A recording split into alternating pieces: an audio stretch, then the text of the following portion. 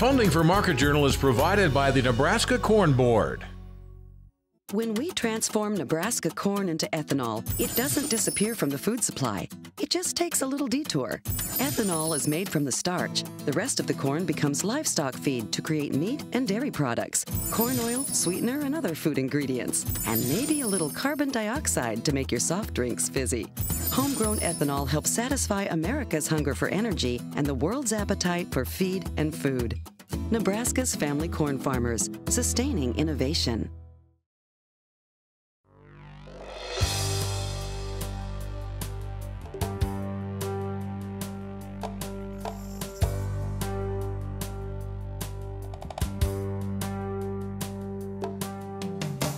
Market Journal, television for agricultural business decisions, is a presentation of the University of Nebraska Lincoln's Institute of Agriculture and Natural Resources.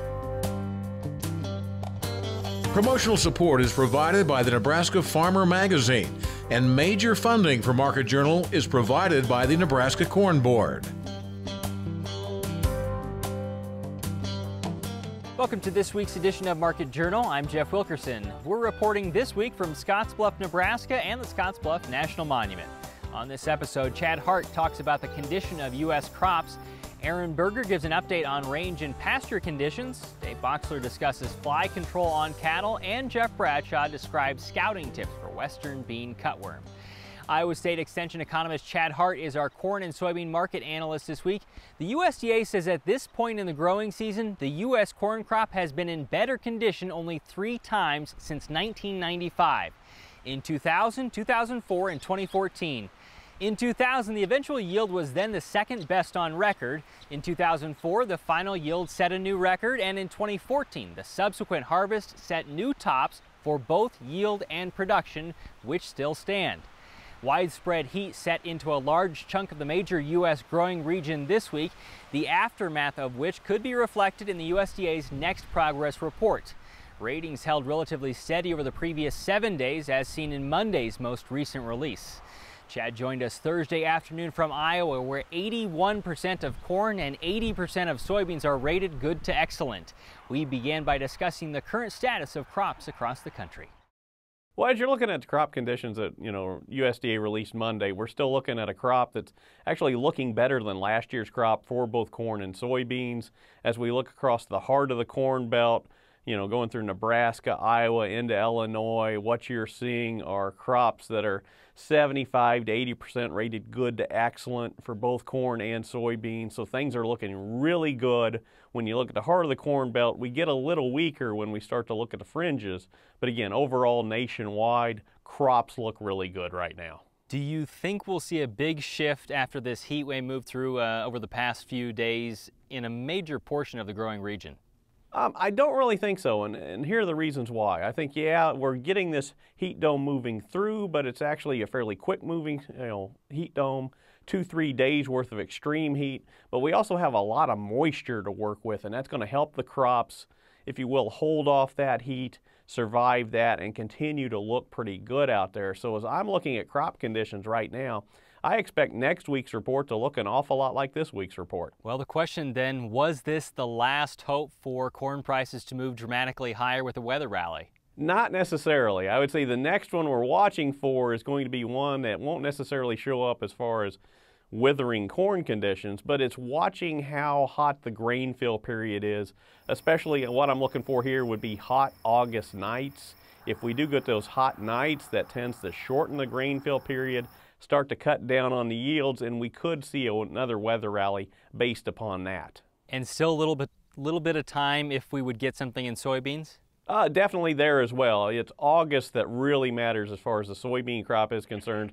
We're especially watching the moisture there in August to see how well those pods fill out. Overall, what do you expect for crop margins in 2016-17 compared to last year 15-16? As we're looking right now, the problem is both 15-16 and, and the new crop 16-17 crops are looking at negative margins. In this case, the corn margin has definitely taken a hit over the past two, three weeks uh, where here in Iowa, I'm looking at estimates where we're down 100 to 150 dollars per acre as I look at the corn margins. As I'm looking at soybeans, we're a lot closer to break even, but we're still on the negative side, down about 25 to 50 bucks an acre. Those portions or those farmers, I guess, that are seeing the biggest hit, is there a commonality among them? Do they rent ground rather than own it? Is there something that sets them apart? Um, oftentimes you hit upon it. It's the idea that those that rent the vast majority of their land, those are the ones that are finding more financial stress out there. It's also the ones that have been more aggressive and growing over the past few years because typically you grew through renting more land. Yep, you're getting a little more financial stress there. Let's talk about demand for corn. First in ethanol, how is it contributing to the demand picture? Ethanol demand has been really strong over the course of 2016. In fact, looking at this week's uh, petroleum report, we had the strongest ethanol production this past week than we've ever had. So record amount of corn demand, if you will, headed into ethanol, at least right now. And so that's been very strong. In fact, USDA has continued to ratchet that demand, you know, strongly as we went through 2014, 15, and now as we look forward for the 16 crop. How uh, helpful have exports been? Exports have been pretty good counter seasonally. What we have seen this spring and early summer is stronger export demand than we usually have. Now, this week's report was down a little bit. I would call it more like a normal report for this time of year. But as I look over the past two, three months, exports for both corn and soybeans have helped take prices higher early on and now are trying to help, if you will, hold prices from falling even further now. And as for the final bucket of corn demand, what about feed usage? Feed so far, it's been good but not great. The idea is that we know feed demand is building because we're looking at uh, increasing meat production, whether I'm looking at the pigs, the cows, or the birds, we seem to be growing more of them. So it, we are seeing growth in that feed demand, but we're also going to see a lot of competition as we're looking at, again, strong corn crop, strong soybean crop, I'm watching the wheat crop, especially here, because especially if quality is an issue in the wheat markets, we could see more wheat going into the feed market. And how's the overall demand for soybeans? Overall demand for soybeans is, again, very good. In fact, looking at USDA's estimates right now, it'd be at record levels. Exports have been very strong, especially over the last six months. And our domestic crush has been really good because we're looking at, you know, creating that soybean meal for the livestock feed. But we've also seen some good demand growth on the soybean oil side as well, especially for industrial usage. To close out with Chad, what advice would you have for farmers that have stored grain left in the bin or are looking for opportunities to forward price? Well, let's start with that old crop first. If we've got it in the bin, what I'm worried about is that we need to clear those bins out right away because as I look at these crops right now, we're looking at very large production coming in this fall. We're going to need to store a lot of new crop, and so I want to get the old crop out of the way. So I am definitely looking to market that sooner rather than later. I'm especially worried about some basis erosion as we move from July into August because I do believe there's a fair amount of grain, especially corn, still lurking out there in, in farmers' bins that's going to need to move. Now, as I look at the new crop situation, I'm going to say, you know, given corn's decline over the past couple of weeks, I'm going to be willing to wait a little bit, look and see if we can get another rally here going into harvest time based upon those hot August nights. With beans, though, I would be a little more aggressive, maybe looking to market some new crop beans because especially if I can get those marketed in, maybe look into a basis contract as well to try to lock that in. The idea is that I think there are some opportunities to move some soybeans right now. Next week, Mike Briggs will join us to look at cattle markets. For more than a year, Nebraska has featured promising conditions in the weekly U.S. Drought Monitor. In fact, since June 23rd of 2015, the state has never placed more than 3% in moderate or D1 drought. But one of the drier areas has been north of here in the northwestern corner of the state. Scottsbluff itself has received just more than an inch and a half of precipitation since June 1st, only 40% of normal for the time frame. On Tuesday afternoon, we spoke with Nebraska Extension's Aaron Berger, roughly 45 miles south of here in Kimball County, to learn about pasture and range conditions in western Nebraska. We started by asking about rainfall events for this area through late spring into summer. So in the western panhandle, April, May was pretty good for precip, especially in the southern half of the panhandle. You get in northern panhandle and northern counties, they got a little dry, especially toward mid to late May. As we moved into June, I still had some precip, became more spotty in the panhandle, that northern panhandle is starting to show some effects of some dry conditions and feeling the stress. South panhandle really depends on where you're at, whether or not you caught a good shower or not. Still green in many places, but these warm conditions are starting to dry things out. In the areas that are stressed and with heat setting in this week, at least in this part of the state, what does that do to the quality of pastures and ranges? Yeah, so in many parts of the panhandle especially, we're going to have adequate forage from a quantity standpoint.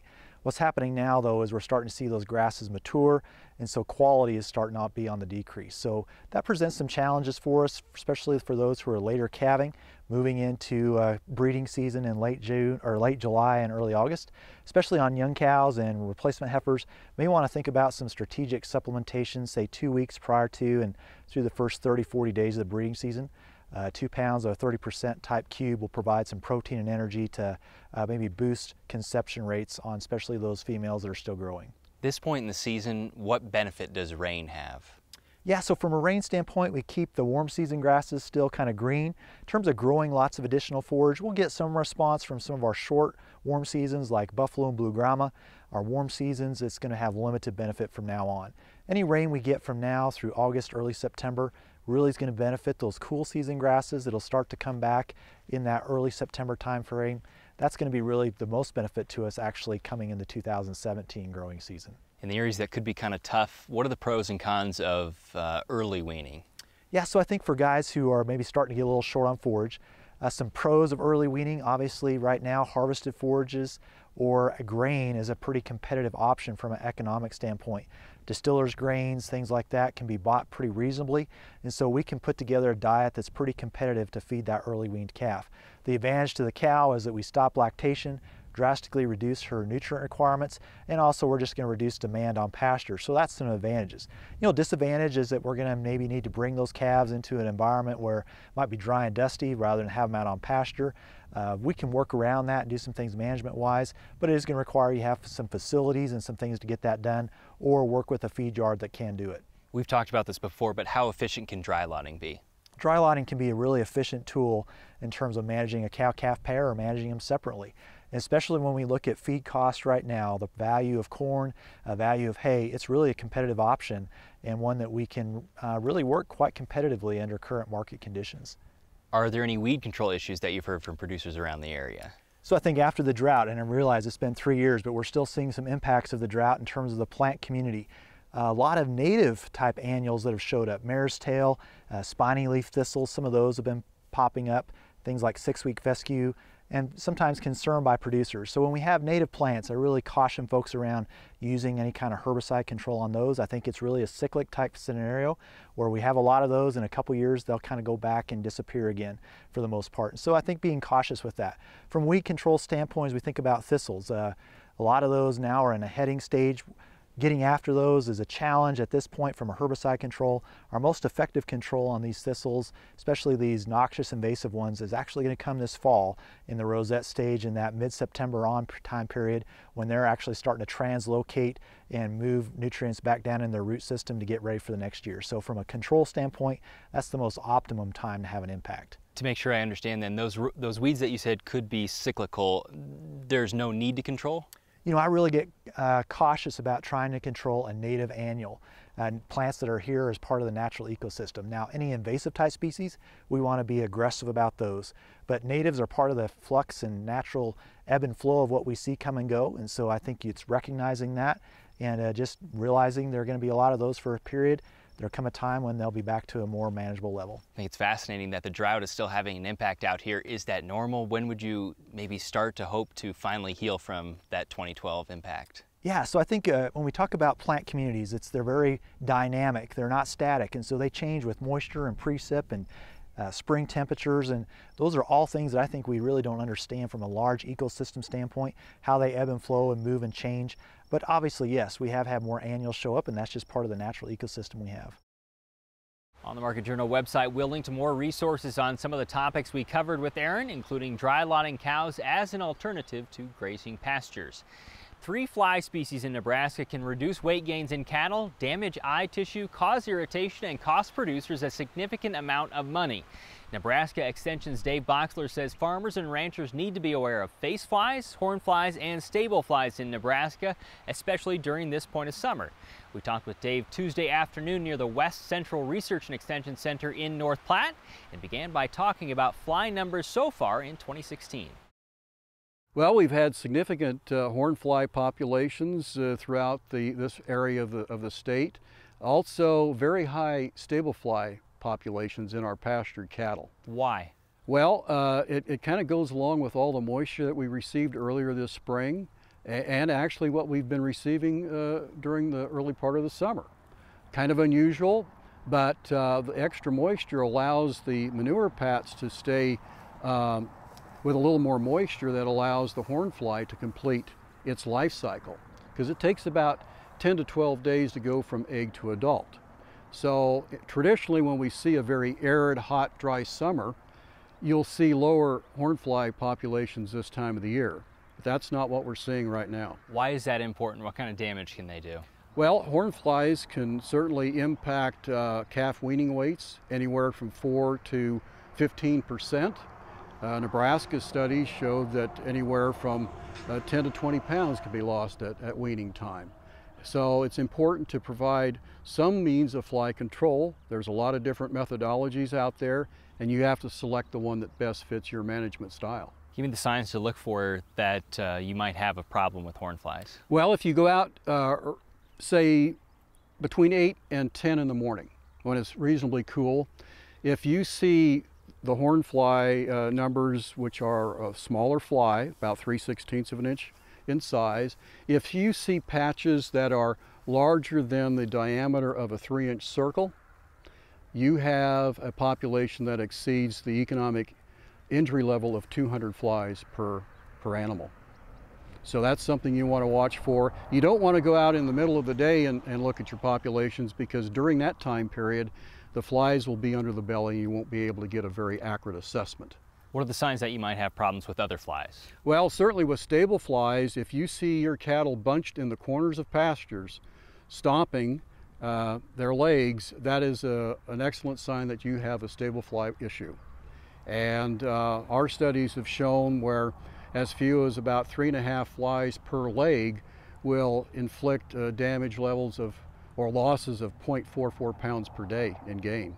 So highly significantly impacting fly. Face flies? Face flies, we've seen a few out in this area of the state, again because of the high moisture that we receive. Traditionally, we'll see higher populations in eastern Nebraska where it's uh, a little more moist, but here we've seen some activity. I've actually seen some pink eye damage to some calves here most recently, cattle especially grazing along the river areas. In fact, I have got one client that we're working with that has a, a couple of issues with some of his, uh, his calves. How late into the summer or into the fall will these problems go? Well, certainly the horn flies will be with us probably well through mid-September, depending upon when we get our first frost. If we um, start losing our precipitation and continue to warm up, the stable fly numbers will kind of uh, decline a little bit. And they have in the last two weeks because we've been warm. Most recently received a, uh, an ample amo uh, amount of moisture which may enhance their population once again. Reiterate to me what temperature does to those flies. Well, temperature certainly, the warmer it is, uh, it dries conditions out. The manure pat for the horn fly, the decaying organic material for the stable fly. Without moisture, the flies cannot complete development. We'll link to more information on fly control and pastured cattle on the Market Journal homepage. The July Nebraska farmer says there aren't many people in Nebraska who can claim to be professional loggers. However, this month's magazine says Herb Fricke and his family have been logging the Pine Ridge for 26 years. It started when fire struck his father-in-law's ranch in 1990 as Herb tried to salvage the burned logs. You can read about some of Fricke's logging jobs, including the reconstruction of a 4,500 square foot replica of the 1874 Cavalry Barracks in the July Nebraska farmer.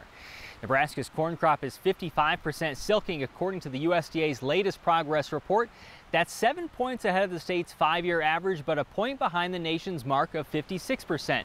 To learn about western bean cutworm control in corn and dry beans, particularly in this part of the state, we talked with Nebraska Extension's Jeff Bradshaw in Scottsbluff Wednesday afternoon. So the western bean cutworm is a moth. Uh, we usually start seeing it emerge in higher numbers around now. Uh, it's a pest of corn and dry beans, and the reason it's a pest is the adult moth will lay eggs in the corn or dry beans, and when the larvae hatch uh, in corn, they'll, they'll graze a little bit on the leaves, but that's not really as important as when they drop down to the ear and they start feeding on kernels. And in dry beans, they'll feed on the leaves, uh, but then they'll also feed on the pods and the seeds inside those pods. And that, again, is the really important part of the, the damaging life cycle of that insect. Tell me about uh, your research that you're doing and kind of what you're trying to aim for this time of year. So uh, right now with western bean cutworm uh, research we have going on is we're looking at this tiny wasp called a parasitoid. The scientific name is Trichogramma ostriniae. Mm -hmm. There'll be a quiz later. Mm -hmm. um, and um, so it's, it's a very tiny wasp, uh, and it's interesting uh, in that it lays its eggs inside the egg of the western bean cutworm. So right now we are doing some releases in the field at a couple uh, on-farm sites to try to understand the efficacy, like how many of these parasitoids would we need to be would we need to release in order for them to be efficacious against western bean cutworms. What uh, should farmers look for in their fields to see if there are signs of damage from western bean cutworm? So in dry beans, they're particularly difficult to scout. Um, particularly, we have a number of dry beans that, that vine over and they're just can't really uh, reasonably walk through. It's very difficult to find egg masses. In corn, it's a little easier to scout. Uh, the egg masses are generally find, found high up on the plant. And we have a threshold of about 4% of the plants uh, of 20 plants in a field on average uh, will give approximately a threshold uh, or action threshold for, for control. So typically we use egg masses or maybe small larvae uh, in that threshold. there's a number of um, foliar insecticides that can be used uh, to reduce their numbers, uh, but also some BT products. Yeah, tell me about the variety selection, how that might help. Yeah, so we have some different trans, uh, genetic engineered crops that we, we have um, uh, tools available to us for western bean cutworm control, a couple different gene events that uh, we can use that are expressed in the corn plant uh, in the ears that will um, reduce the survival of those western bean cutworms. And so with our parasitoids, what we're trying to work with is to find another source of mortality for that insect, hopefully a, uh, a, uh, an effective and affordable way to manage them. Uh, because we've found in some situations, some areas in Nebraska might be seeing either reduced efficacy or possible resistance developing by this insect. Tell me about the resistance issue with this insect. So uh, myself and Julie Peterson in North Platte and Bob Wright in Lincoln um, have a number of different studies going on uh, looking at different, eh, different aspects of resistance in uh, with the western bean cutworm against uh, pesticides. Uh, one of which she's looking at is uh, resistance against pyrethroids, and the other is with a couple different events uh, that are expressed in corn, uh, BT events. And right now, uh, we see a lot of variability between um, different fields in terms of susceptibility of those corn traits against western bean cutworm. but she's got some laboratory studies going on right now in North Platte to try to evaluate some of those resistance characteristics. I should ask, what are overall numbers like this year? So um, uh, myself and Julie and Bob, we, we have a survey that we conduct every year, Blacklight Trap, um, and we collect numbers. And, and out here anyway, uh, our Blacklight Trap has been the highest that we've seen uh, in the five years that I've been uh, scouting for these in this area.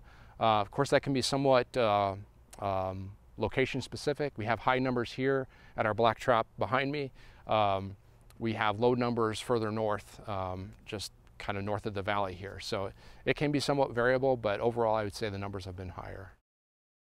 Now with this week's weather forecast, here's Nebraska Extension Ag climatologist Al Dutcher.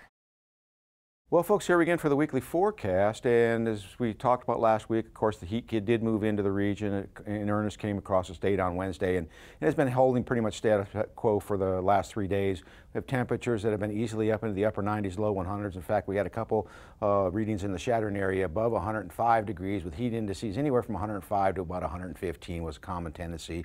As we move through the later of the week, we've seen our dew point temperatures come down somewhat, so the heat indices are starting to drop a little bit, and there is some relief in sight as we go through the remainder of this forecast period. During this last week, of course, we had a couple episodes of thunderstorm activity. One was last Friday night through Saturday morning that hit north central, central Nebraska and west central Nebraska. Then, of course, Sunday night into Monday, we had some uh, same activity in west central, south, west Nebraska, and then a little bit in eastern Nebraska off and on. We've had these scattered thunderstorms around, but overall, some locations haven't received anything and other locations have been done very well if you could escape the white combine. Overall, as we go through this next seven day period, I think the thing we'll be paying attention to is as we see this cold front moving into the region, how much thunderstorm activity will generate from it and will we return back to the hot weather. So let's take a look at the upper air models. We'll see what we can expect as we go through this next seven days and I'll draw your attention once again to another trough moving across the northern plains. It is expected to start influences our weather in earnest as we go through the next 24 hours. So there is in the panhandle a slight chance for some thunderstorm activity developing during the prime heating hours of the day as a surface cold front starts to make its way southeastward through the state. And as we get into tomorrow, we'll start to see that that trough starts to flatten the ridge out somewhat.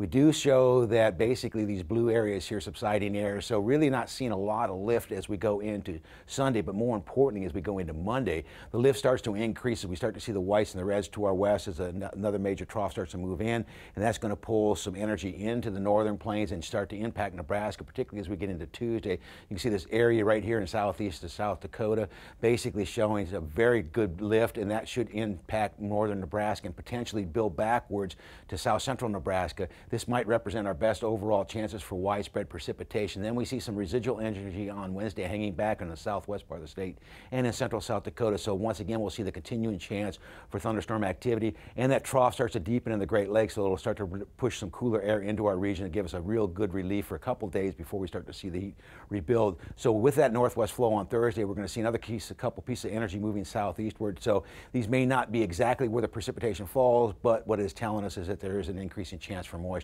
across the state. And as we get into Friday, now we start to see the ridge rebuilding back in, so another warm area is starting to build in, but we have yet another trough to our west, northwest that may impact us as we get later into the weekend, the part of August. So as we look at the forecast from this uh, 6 to 14 day forecast, or 8 to 14 day forecast from next Thursday through the following Tuesday, looks like that cold air starts to come in and brings us to normal conditions in the northern plains, and we see an increase in precipitation. More importantly, the, the latest forecast for the month of August has come out, and we see the same tendency with a trough developing across the northern plains, keeping us close to normal temperatures. And in terms of precipitation, the first outlook says that we are going to see an area of above normal precipitation from the northern plains to the central plains. I would caution you that these forecast models in terms of the precipitation have not exactly been uh, fruitful in terms of their accuracy, and the temperatures haven't been much farther behind. So take it with a grain of salt. This is likely to change as we get toward the end of the month. Thanks, Al. Today's interviews are available individually on the Market Journal website and through the Market Journal mobile app. They include information on corn and soybean markets, range and pasture conditions, fly control on cattle, and western bean cutworm. As always, you can keep up with Market Journal during the week by following us on Twitter, Instagram, and Facebook. Next week, Mike Briggs will analyze cattle markets and Brent Gloy will discuss the health of the agricultural economy. Until then, thanks for watching. I'm Jeff Wilkerson. We'll see you next week. Join Market Journal online at marketjournal.unl.edu. You can also follow us on Twitter, Instagram, and Facebook. Promotional support is provided by the Nebraska Farmer Magazine, and major funding for Market Journal is provided by the Nebraska Corn Board.